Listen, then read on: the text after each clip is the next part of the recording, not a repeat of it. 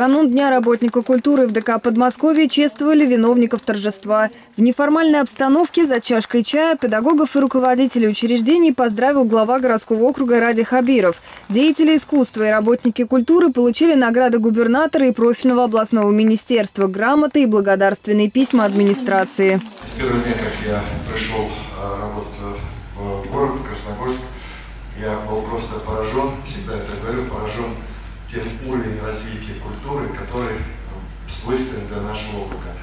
Уровнем творческих коллективов, уровнем массовости культуры, уровнем традиций культурных, которые здесь существуют. На территории округа работает большое количество центров досуга и культуры, парков, библиотек, музыкальная, художественная и хореографическая школы. Будет еще больше. Педагогический коллектив «Вдохновение» получил своеобразный подарок к профессиональному празднику. Я специально сегодня к половине десятого а, пригласил а, руководство, все руководство а, Затонского, эталона «Дверь», которые вот, для работников вдохновения, наверное, очень хотят услышать, что же у нас, когда же балетная школа строиться будет. Вот я просто вырвал из них, прям, я не знаю, сердце у них вырвал, сказал, сегодня КПЗУ будет. 2-4 апреля разрешение строительства. Вот на это мы ведем, Галина Михайловна.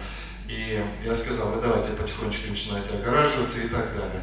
На стадии проектирования и музыкальная школа в Павшинской пойме. Также в этом году запланированы масштабные работы по благоустройству парковых зон и общественных пространств, рассказал глава округа. У нас есть ясное понимание в развитии парковой системы, причем ведь парки, они сами по себе будут безжизненными, пустыми еще, если мы их не наполним какой-то содержательной культурной жизнью. Оживить благоустроенные территории работники культуры готовы. Администрация, в свою очередь, обещала и впредь оказывать поддержку этой важной сфере жизни муниципалитета.